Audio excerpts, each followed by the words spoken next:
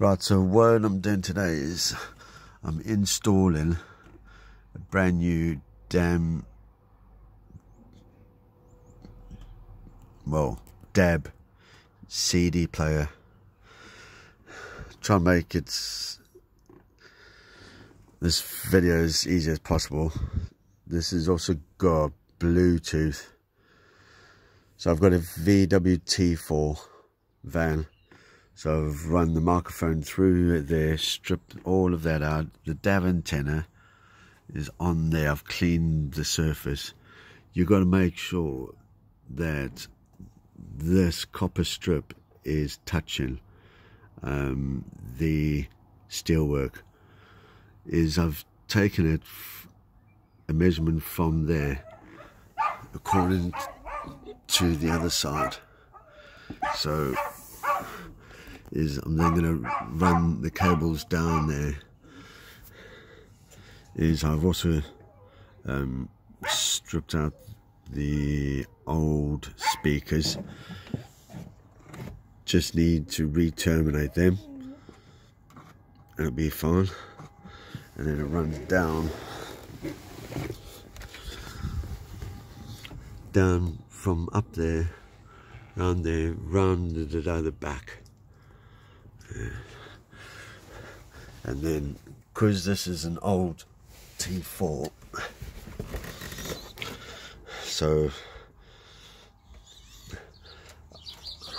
I've got a DIN connector which is this is for the DAB antenna power which will then go into the back of where the aerial is because the DAB needs 12 volt according to instructions.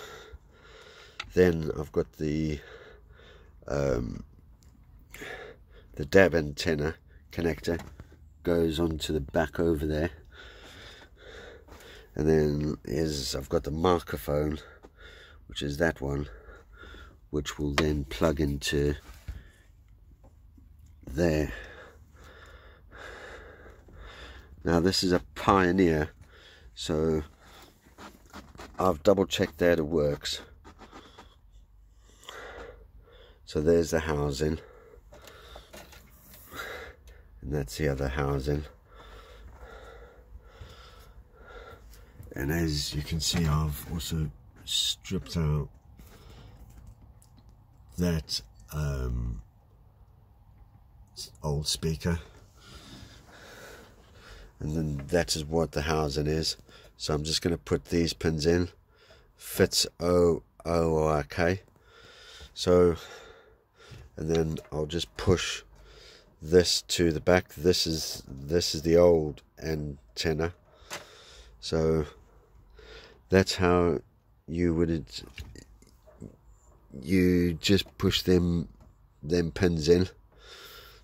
But I'll put them on another side so that's how you install a Bluetooth DAB CD car stereo in a VW T4. Cheers, bye.